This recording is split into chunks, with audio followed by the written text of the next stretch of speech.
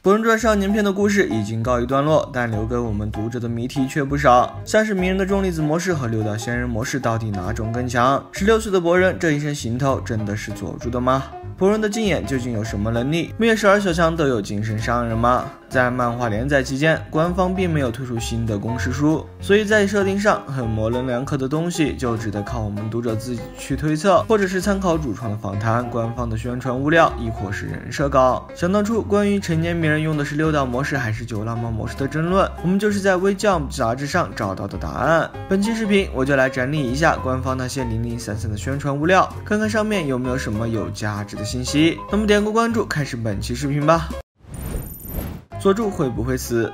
关于佐助在《博人传》里的生死问题，大家从一开始就比较悲观。一是因为佐良娜升级血灵眼几乎是板上钉钉的事实，那佐助就有可能沦为献祭的垫脚石。虽说佐助在佐良娜开万花筒血灵眼这一关逃过了一劫，但后面佐良娜开永恒万花筒的时候，该又怎么办呢？佐助的眼睛会不会移植给佐良娜呢？这就很难说了。第二就是开篇十六岁博人的这一身行头，不管是披风还是佩剑，都像是从佐助那里继承来的。当我们还在心存侥幸时，博人的人设稿上早就清楚的注明了这把剑就是佐助的，所以不管怎么看，佐助都凶多吉少。另外，我们还可以看到十六岁的博人身高只有一六三，比同龄的鸣人还要矮三厘米。鸣人矮可能是他从小生活拮据，吃的差，营养不良导致的，但博人小时候不存在这些问题啊，那想必就是他在里村流浪这些年里生活过得非常艰苦。苦有一餐没一餐的，但也有可能只是博人发育的晚而已。像是鸣人佐助在这个年龄也和博人差不了多少，十六岁后才开始狂长身高。最后鸣人一米八，佐助一米八二。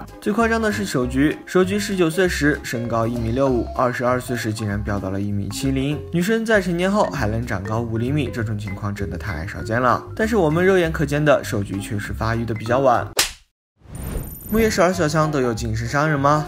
四战后，小樱和鹿丸立马就被提拔成了上人。在之书实锤了《博人传》时期的小李是上人，雏田是中人。《博人传》动画开播后，有张宣传图把金叶和志乃也画到了上人行列。在近期发售的《木叶新传》的单行本上，有提到牙是木叶警务部队的队长，这个大家应该不陌生，就是曾经佐助的父亲宇智波富岳坐的那个位置。那想来牙应该也是上人了。也就是说，目前只有丁次和天天两位还没有实锤。至于佐助，因为不属于正规部队，所以没有头衔。另外。岸本在采访中也提到，鸣人在成为火影前依旧是下人。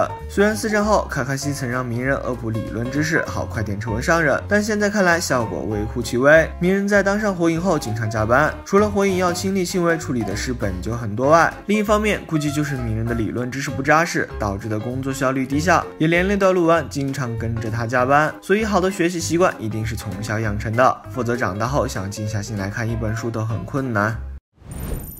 博人的禁言有什么能力？禁言一词最早也是出自博人的这张人设稿。动画十五集播出后，黄晨曦导演解释说，禁言的能力是恶意感知可视化，并且还与异空间的大头目有关。那会儿还是一七年，动画刚播出不久，所以更具体的能力可能作者都还没有想好。到了后面的一维护卫篇，博人的禁言被赋予了新的能力，可以看到普世的时空间传送门的位置，这也可能会成为日后博人对抗大头目一族的关键能力。还有就是在博人的相关设定里，一直没有找到与白演相关的能力。之前有不少。朋友把中人考试上博人攻击露台这一掌当成了柔拳，但我个人觉得这只是普通的一掌而已。日向一族的能力应该会由小葵来继承和发扬，以免兄妹二人的能力太过于重合。但现在的问题在于，禁眼一词在漫画里从头到尾都没有提起过，上面提到的那些能力也没有在漫画里展示过，这就让动画里的那些能力像是原创出来的一样，很尴尬。正因如此，不少人觉得物料图上的介绍不够官方，含金量不够。比如在动画的某张宣传图上，给天天和小。李的关系标注的是原夫妇，于是就传出了他俩离过婚，天天是小李的前妻一说。